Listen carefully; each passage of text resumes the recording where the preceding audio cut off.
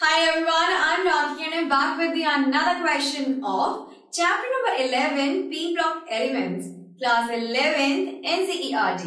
In this video, I will be explaining you question number 8 and it's on page number 323. So first of all, let's have a look on the question and then I think आप Mrs.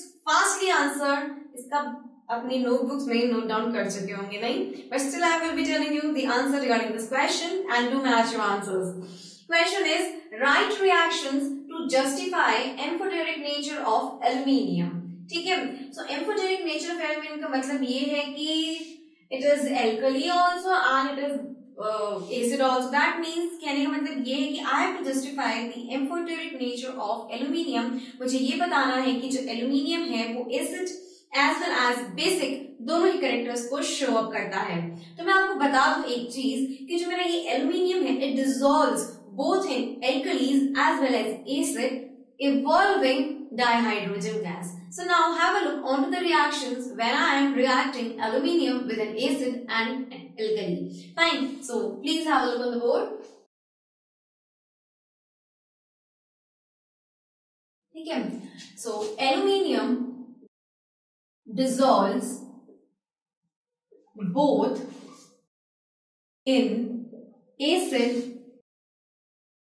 as well as in alkali in alkali by evolving what dihydrogen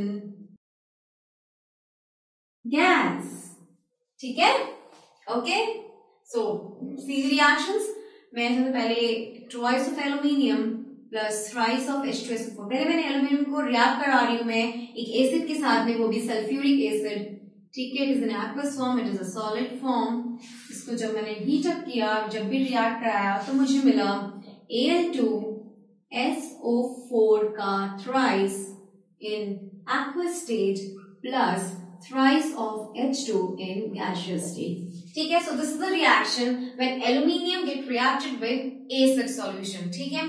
अब twice of aluminium, which is in the solid state, plus twice of NaOH in aqueous state, ठीक है? Plus six of the H two O which is liquid इसको जब हम heat करेंगे तो हमें मिलेगा twice of N A positive with in bracket A L ये जो एनी पॉजिटिव है ना, ये प्लस साइन मत देख लेना। A L with in bracket O H का four negative plus thrice H2 in the gaseous state, ठीक है? तो ये जो है, ये है मेरा सोडियम टेट्रा हाइड्रोक्सो एल्यूमिनेट ठीक है? So what I is form जब मैंने एसिड के अंदर इसका रिएक्शन किया एल्यूमिनियम का तो मुझे मिला एल्यूमिनियम सल्फेट ठीक है?